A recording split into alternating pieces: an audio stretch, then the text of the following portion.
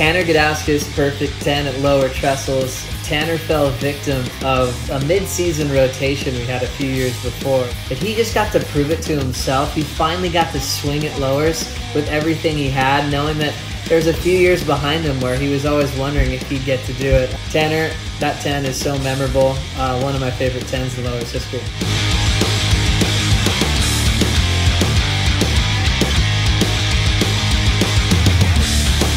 Freddy Patacchia Jr. went to lower trestles and did the unthinkable.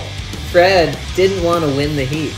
He didn't want to slow down Medina and Bede's roll. He was trying to convince Bede or Medina to force him into an interference so his score would get clipped. And it just made perfect sense that the way he would go out in history would be with the 10 and just drop the mic. Uh, that's got to go down in history on one of the best retirement moves ever.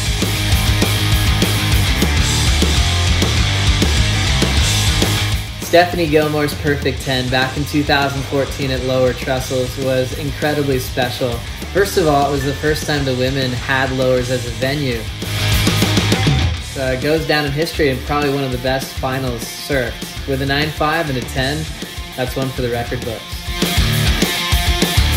Kelly Slater got a perfect 10 at the Boost Mobile Pro back in 2008 over Kieren Perrow the early stages of the event. This 10 was really special. It's because his approach was really, really radical, progressive, throwing a big air at the finish. It was definitely Kelly at his prime, where he could control situations and land everything he went for.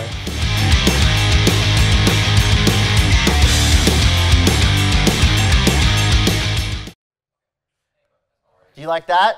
Well, if so, subscribe over there and then watch more videos over there. And then tell us your favorite videos down there. It's a three-step process. Do them all now.